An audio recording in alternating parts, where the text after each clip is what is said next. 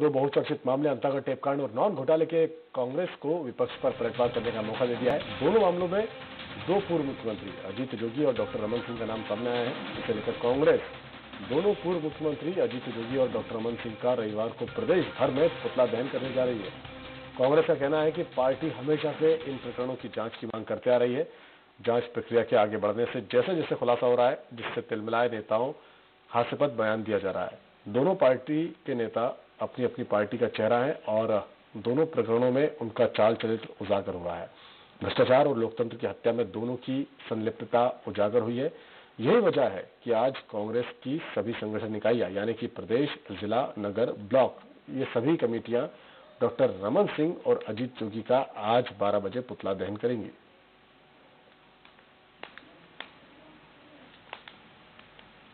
और ज़्यादा बातचीत के लिए हमारे साथ जुड़ चुके हैं हेमंत शर्मा, सोरा संवाददाता रायपुर से। हेमंत, जिस तरह हम बात कर रहे हैं कि यानी कि कुछ ही देर बाद, यानी कि कुछ ही घंटे बाद जो कांग्रेस है, अपना बिगुल फूकने जा रहा है और जिस तरह हम अंतागढ़ और नॉन घोटाले की बात करें तो उसको लेकर तैयारियाँ पूरी कर ली है और अब से कुछ ही देर बाद वो अपना प्रदर्शन जारी रखेंगे। प्रदर्शन का स्वरूप क्या होगा? किस तरह प्रदर्शन करेंगे? पुतला तो दहन करेंगे इसके साथ क्या क्या कुछ करने जा रहे हैं कांग्रेस के नेता?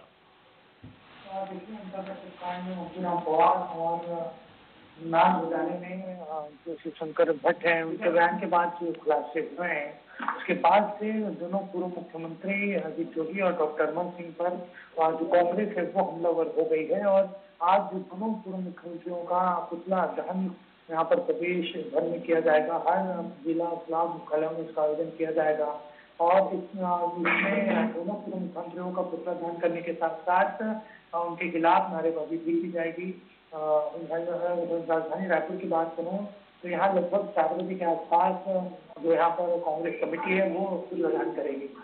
यदि बात की जाए मुख्यमंत्री रमन सिंह की, उनका हालाँकि जमशेदपुर का दौरा है, लेकिन उनकी बात की जाए तो वो कहाँ शामिल हो सकते हैं पुतले दहन कार्यक्रम में, या फिर उनके जो कार्यकर्ता उनकी बात की जाए तो मोहन मरकाम के नेतृत्व में सारा चीज़ की जा रही है तो ऐसे में कहाँ कहाँ कौन कौन बड़े नेता इस प्रदर्शन में शामिल रहेंगे?